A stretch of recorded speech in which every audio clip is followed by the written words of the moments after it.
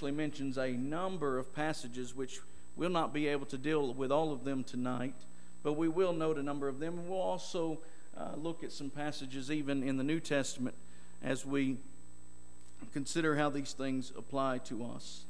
From these verses, I see, first of all, that we need to work honestly.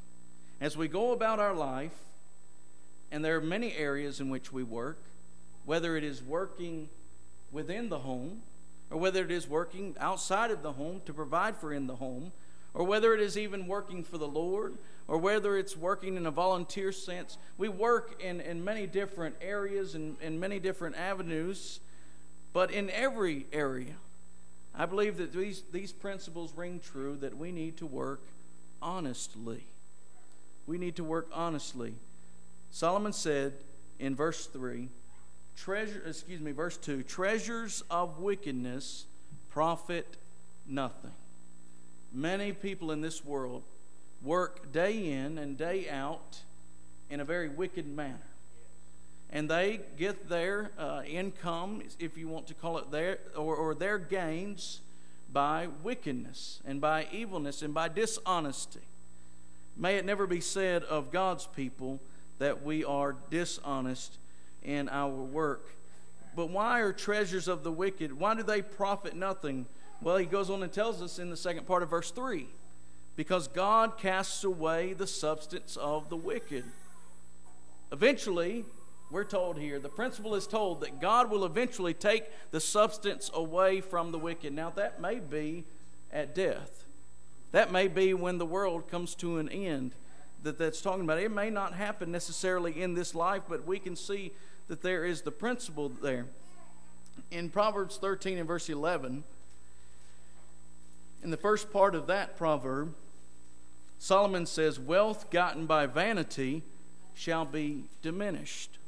The same idea that, that the person who makes it his endeavor to gain his wealth by vanity, by fraud, by uh, wickedness, by evil, then that is going to diminish, that is going to be taken from him eventually. Proverbs 28 and verse 22. The Proverbs writer says, He that hasteth to be rich hath an evil eye, and considereth not that poverty shall come upon him.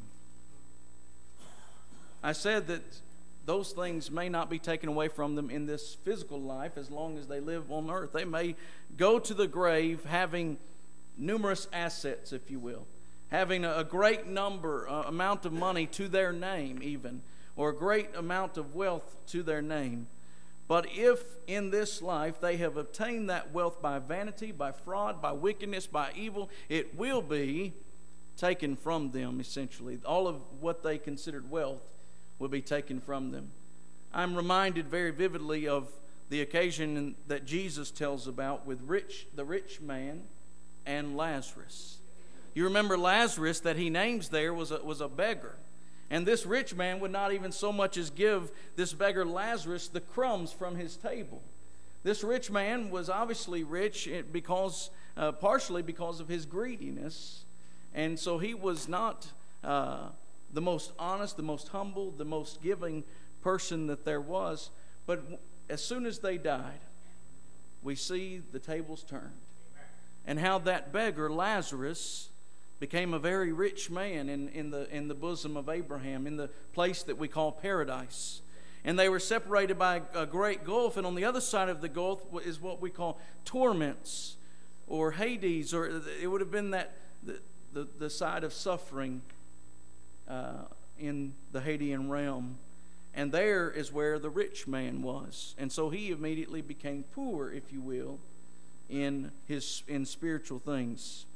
The Bible tells us in 2 Peter chapter 3 and verse 10 that the day of the Lord will come as a thief in the night. We do not know when Jesus is coming back.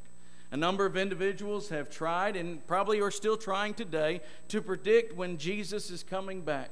We can rest assured that he's coming back. Verse 9 tells us that in 2 Peter chapter 3 that he's not slack concerning his promises. Some men count slackening, slackness, but he's long suffering toward us not willing that any should perish, but that all should come to repentance. But the day of the Lord will come as a thief in the night. A thief typically does not announce when he's coming. He doesn't let you know, hey, I'm going to be there at this time. And that is the same way that Jesus is going to return. The Bible tells us that he's coming as a thief in the night. And when he does, the heavens shall pass away with a great noise, and the elements shall melt with fervent heat, and the earth also, and the works that are therein shall be burned up. So every physical thing as we know it will be dissolved, will be non existent. God made it, and He's the one that can take it out of existence, and He is the one that will take it out of existence. Side note there are many today who are pressing and, teaching uh, that the environment is within our hands, it's within our power. And if you were to get down to the, the root of all of this, really it's a money making scheme, but there are many who are pushing for this idea of global warming or climate change. And, and in response to that, you need to purchase products that uh, they've got their hands dipped in, basically, to prevent the pollution that we're causing. God has said in, all the way back in Genesis chapter 8 that as long as the earth continues, that He is going to continue to provide what it needs. That it's not until He destroys it that it will be destroyed. Uh, now, with that, I believe that we should be good stewards of what God has given us. I don't mean that we should just uh, completely trash the earth that He has given us and treat it with disdain, but also we shouldn't give in to the, the tactics that many have and, that are trying to deceive us about our being in control of this physical earth. God upholds the world by the word of his power, Hebrews 1, verses 1 through 3. All right, I got sidetracked a little bit there. But every physical thing will be burned up, so the treasures of wickedness profit nothing. Therefore, we need to work honestly. For what is a man profited if he shall gain the whole world and lose his own soul? And what shall a man give in exchange for his soul? Matthew 16 and verse 26. We can work this life, the entirety of our lives, gaining things in the world, but in the end, those things are going to be burned up. It's all going to burn up. And so we need to be working honestly. Furthermore, in this uh, passage here in, in, in Proverbs 10, verses 2 and 3, he says, Righteousness delivereth from death. In verse 3, in the first part of that verse, he, it says, The Lord will not suffer, will not allow the soul of the righteous to famish.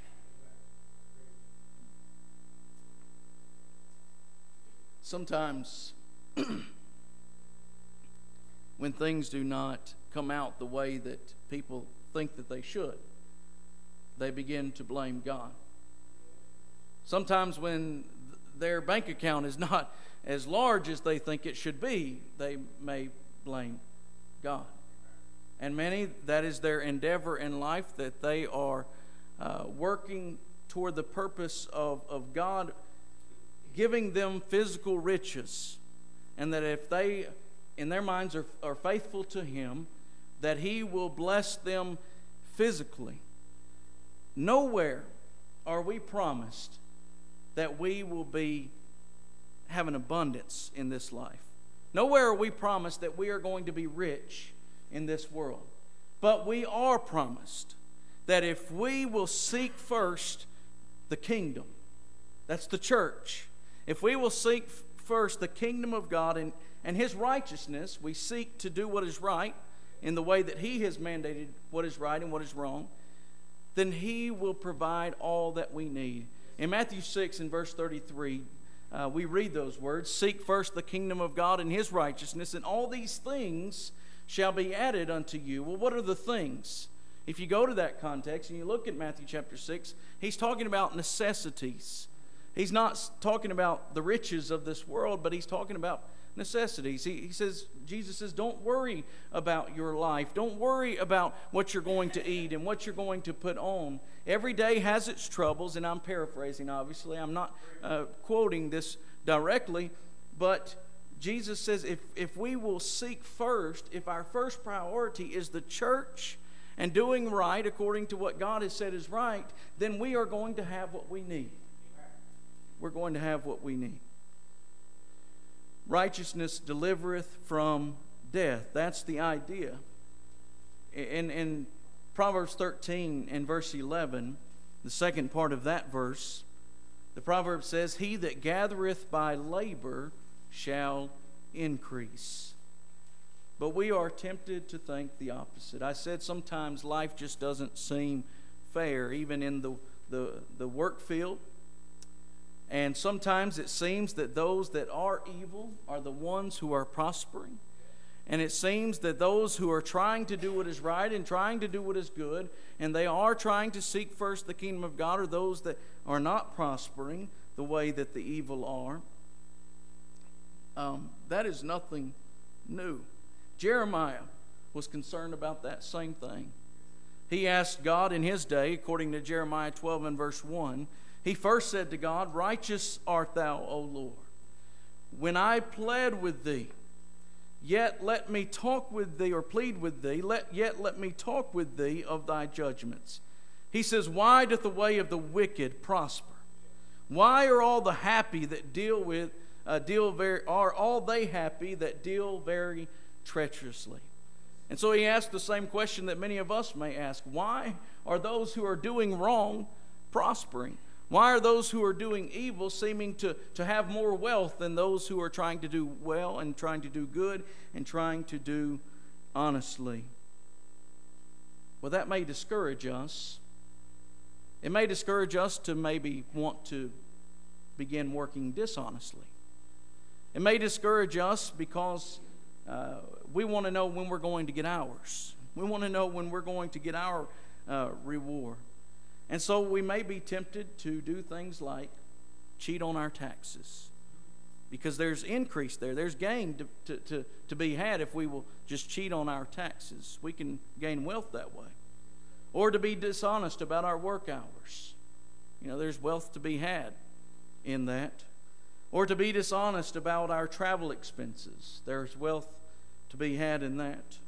Or to slack off when the boss is not around or to pretend to be in need when we really could be working to provide for our needs. Uh, we may be tempted to be dishonest in our work in so many ways, but do not let the, the ways of the evil, do not let the wealth of the evil, do not let their physical riches discourage us into wanting to work dishonestly. May we work honestly as the Proverbs writer encourage us, encourages us to do. Essentially, all of those things I mentioned can be reduced down to thievery, stealing.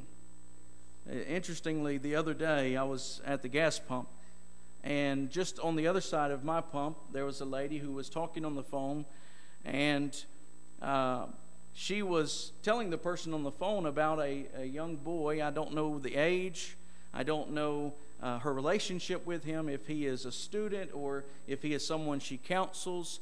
Uh, but she's, she was talking about this young boy and said, uh, said to the person on the phone, He told me that stealing is good. And she said, What? No, it's not. He said, Yes, stealing is good because then everything is free. That's what many people are being taught in our society. That's what many people are believing in our society. But we go to the Bible and we are encouraged to, to work honestly. In Psalm 37 and verse 7, the psalmist says, Rest in the Lord and wait patiently for him. Fret not thyself because of him who prospereth in his way, because of the man who bringeth wicked devices to pass. In 1 Timothy 6 and verse 6 beginning, 1 Timothy 6, verse 6, beginning, Paul writing to Timothy, said to him, Godliness with contentment is great gain. While the world says that physical riches are great gain, he says godliness with contentment is great gain. He says, For we brought nothing into this world, and it is certain we can carry nothing out. And having food and raiment, let us be therewith content. But they that will be rich, fall into temptation and a snare, and into many foolish and hurtful lusts, which drown men in destruction and perdition for the love of money. is the root of all kinds of evil.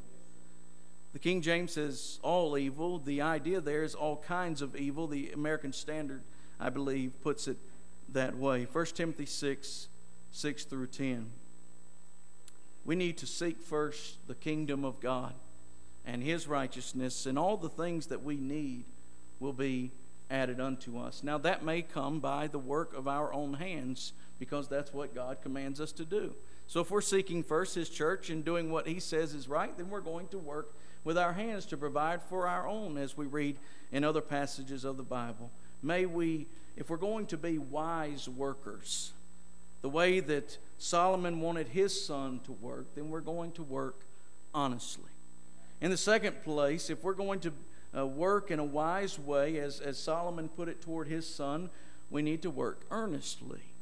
We need to work earnestly. An earnest worker is a diligent worker. An earnest worker is a diligent worker. Uh, back in Proverbs chapter 10 and verse 4, he becometh poor that dealeth with a slack hand, that is, a, a hand that is uh, restrains itself from working, uh, a, a lazy hand, if you will. But the hand of the diligent maketh rich. An earnest worker is a di- diligent worker. In Proverbs chapter 18 and verse 9, we read, He also that is slothful. Some other translations say a sluggard. The idea is someone who is lazy, someone who holds back on doing what they are able to do. The, the, he who is slothful in his work is brother to him that is a great waster or a great destroyer. And so it is that diligence in our work is constructive, it builds, but laziness is destructive, it destroys. Continuing in looking at passages from Proverbs, under this idea that an earnest worker is a diligent worker, we see in Proverbs 13 and verse 4 that the soul of the sluggard desireth, he desires to have things, but he has nothing.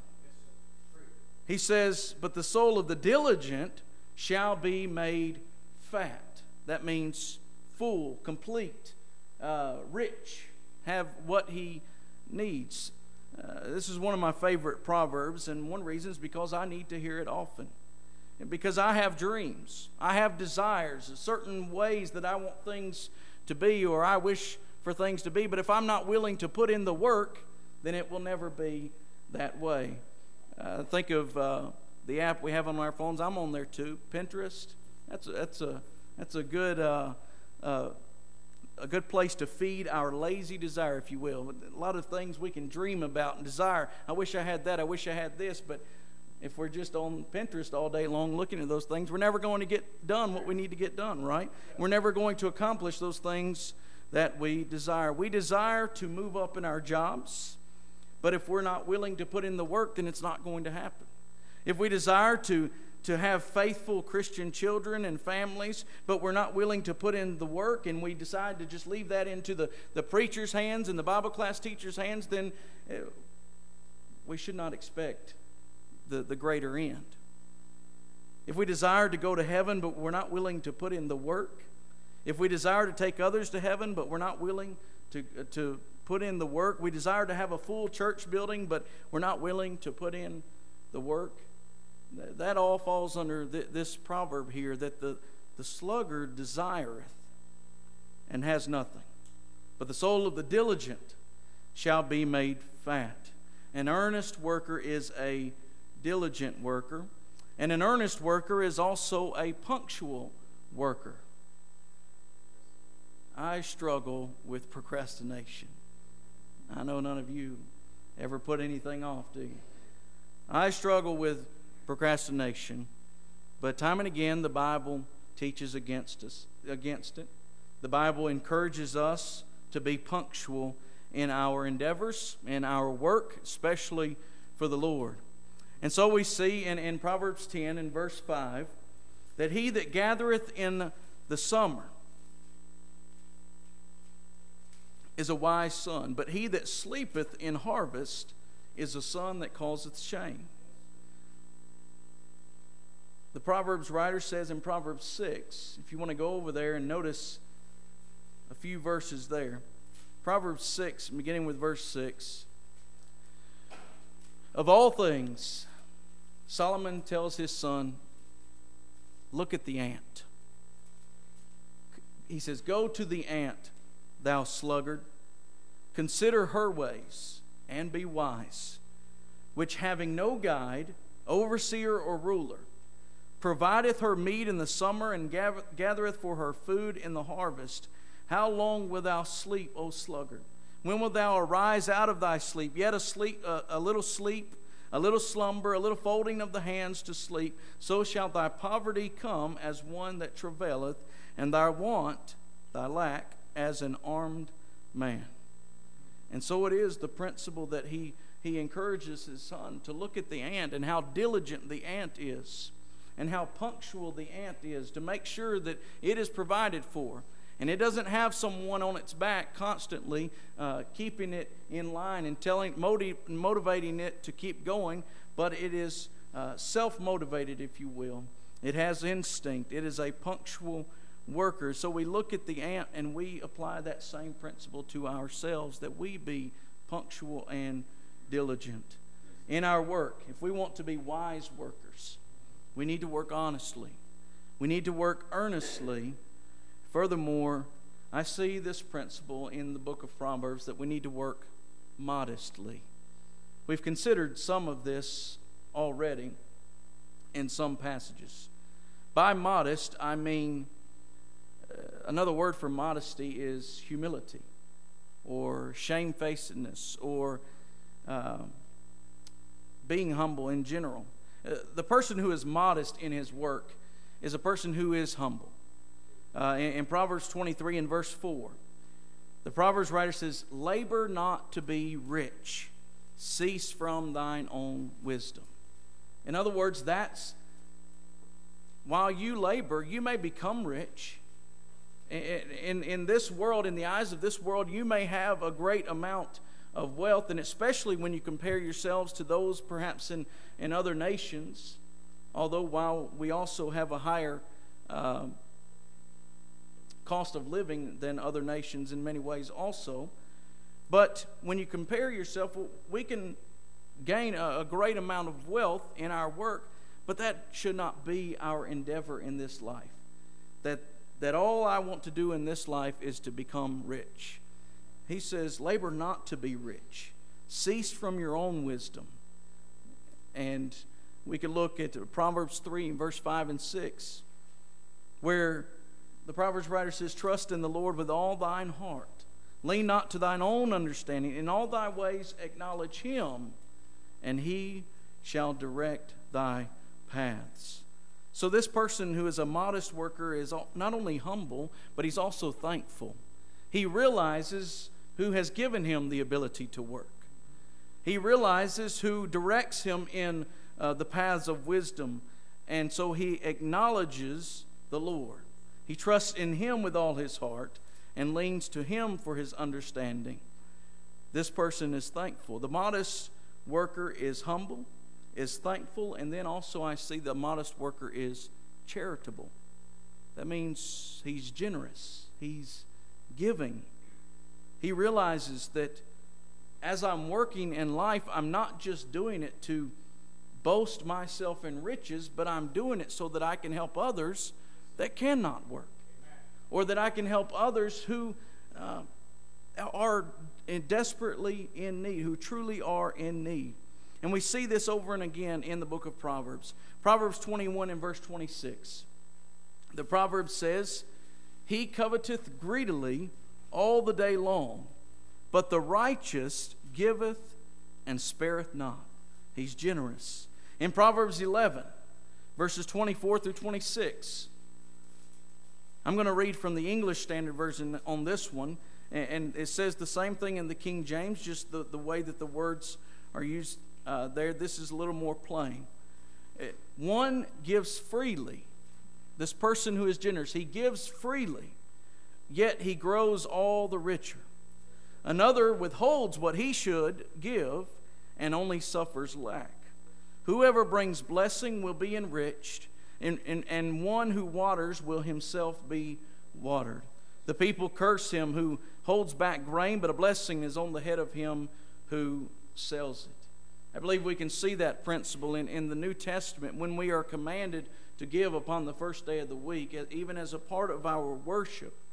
As we give, that we're to give uh, not grudgingly, not out of necessity, but as a cheerful giver, as one who realizes that I will never be able to give to God what He has given to me.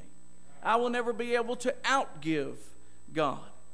And we also do not do it for the purpose of getting more back from God, but there is the principle that is told there that whosoever uh, soweth sparingly reapeth sparingly. Whoever sows uh, uh, greatly or in abundance, then he also will reap in abundance.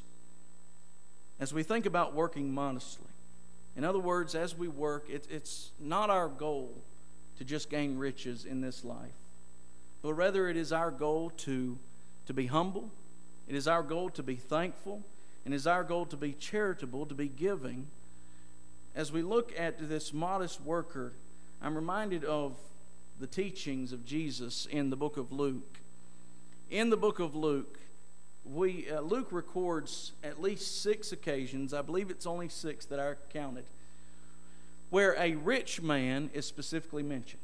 Six occasions in Luke where a rich man is specifically mentioned. In Luke 12, 16 through 21, there's the rich farmer who stored up uh, treasures on earth instead of, he- uh, instead of heaven.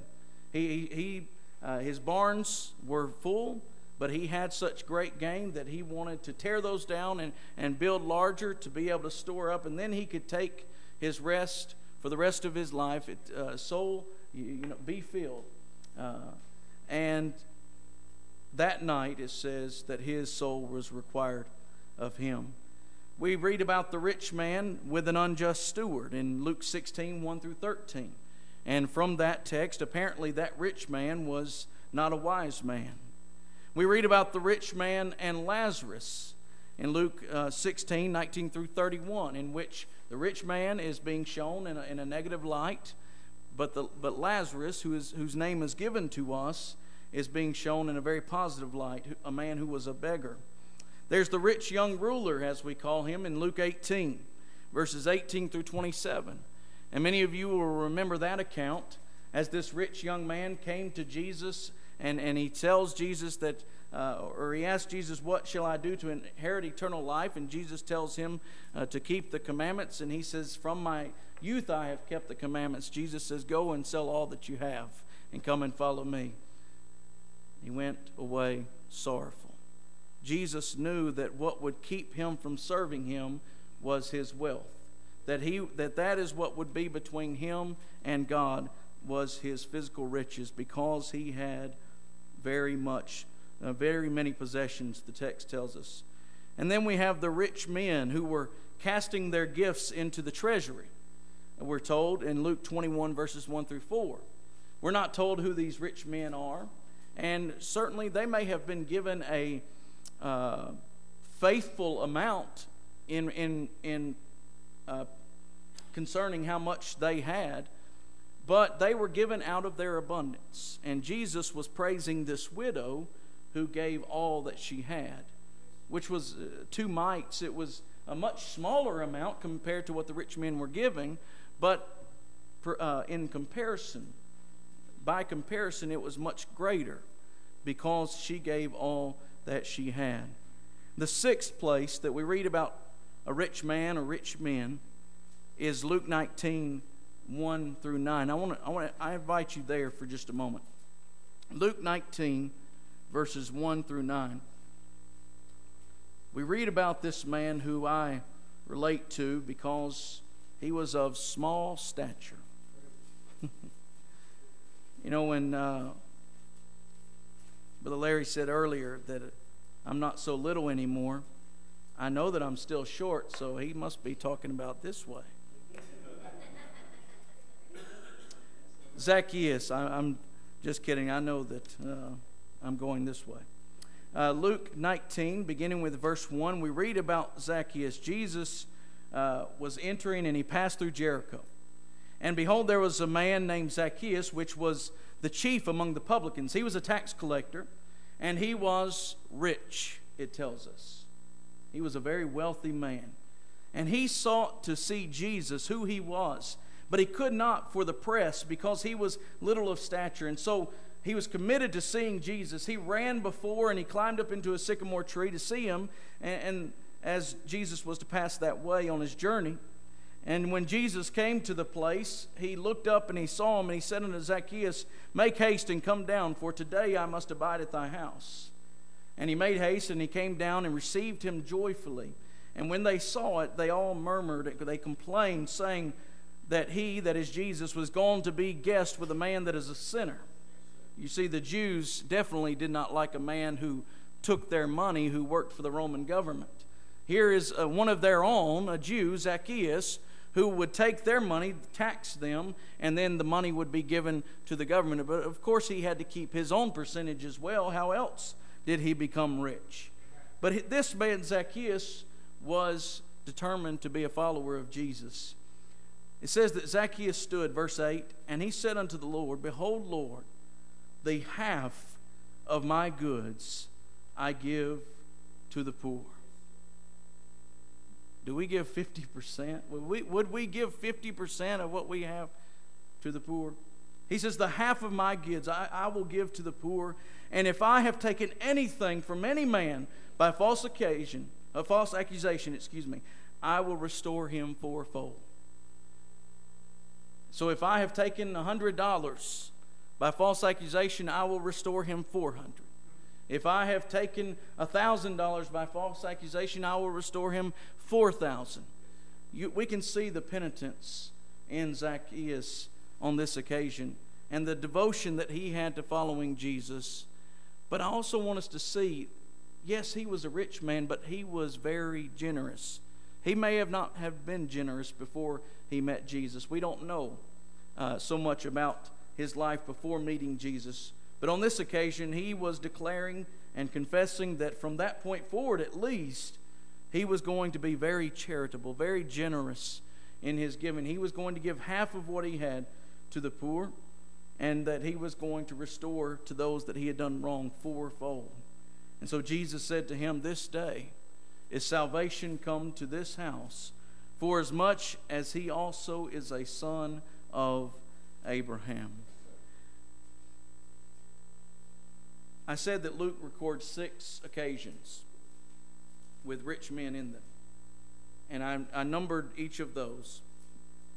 The only one of those six where Jesus names the person and where Jesus praises the person who is rich is the occasion of Zacchaeus, which goes along with what else Jesus said that it, it's easier for the cam- a, a camel to go through the eye of a needle than it is for a rich man to enter into the kingdom of heaven.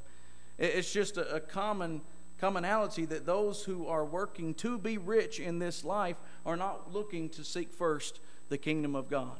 Now, there is the occasion in which we have in our midst, we have a brother or sister who is in Christ and who is faithful to Christ, faithful to his church, faithful to doing what is right, and they have very much but they're also giving very much if they are faithful uh, to God. In 1 Timothy 6, verses 17 through 19, Paul said there to Timothy, Charge them that are rich in this world that they be not high minded, nor trust in uncertain riches, but in the living God, who giveth us richly all things to enjoy, that they do good, that they be rich in good works ready to distribute, willing to communicate. That means willing to, to give, laying up in store for themselves a good foundation against the time to come, that they may lay hold on eternal life. In Ephesians 4 and verse 28, Paul says, Let him that stole steal no more, but rather let him labor, working with his hands the thing which is good, that he may have to give to him that needeth. In other words, so that he will be able to give to the person that is in need. And so, as we work, we need to work honestly, work earnestly, and work modestly with the idea that I'm humble. I realize and I am thankful that without God and without what God has given me, I would not have the ability to even work. But as I do work, I will always keep in mind to help those who are in need, as the Bible teaches us. May all of our work be done earnestly, honestly, and modestly. But I would be remiss this evening if I did not tell you that you can work all of your life you can accomplish great things on this earth. You can even work honestly, earnestly, modestly, and it all be for nothing. You can build a large family. You can have great wealth. You can even leave behind a legacy. But the psalmist says, Except the Lord build the house, they labor in vain that do build it. Except the Lord keep the city. The watchman waketh, but in vain. It is vain for you to rise up early, to sit up late, to eat the bread of sorrows, for so he giveth his beloved sleep.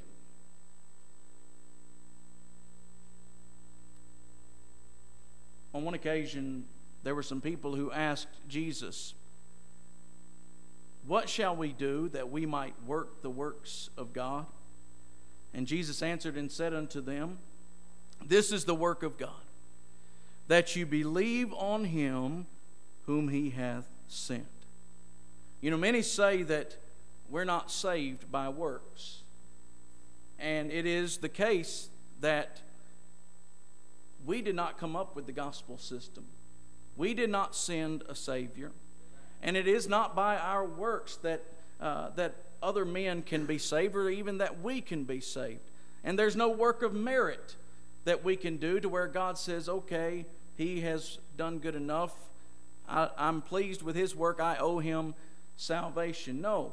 But there are works, there are actions that God commands, beginning with belief. He, they said, What shall we do that we might work the works of God? And he says, The work of God is that you believe on him whom he sent. Faith is a work, and faith works. Biblical faith is not just a mental acknowledgement of who Jesus is. It is, it is a physical or an even spiritual uh, application of who He is, that we follow Him, that we walk after Him, that we do what He says. Without faith, it is, it is impossible to please God. Hebrews 11, verse 6. But faith that pleases God is faith that leads to repentance. Peter said, He that uh, he says, Repent and be baptized, every one of you, in the name of Jesus Christ, for the remission of your sins. Acts 2 and verse 38.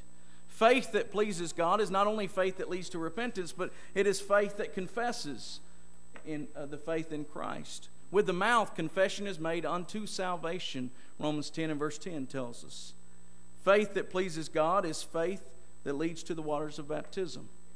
Peter's already said it in Acts 2:38. But we can also see in Mark 16 and verse 16 that it's in the waters of baptisms that, that we are saved. It is there that our sins are washed away, Acts 22 16. It is there that we bury the old men of sin, Romans 6 3 and 4. And so it is that faith that pleases God is also faith that remains even through the point of death.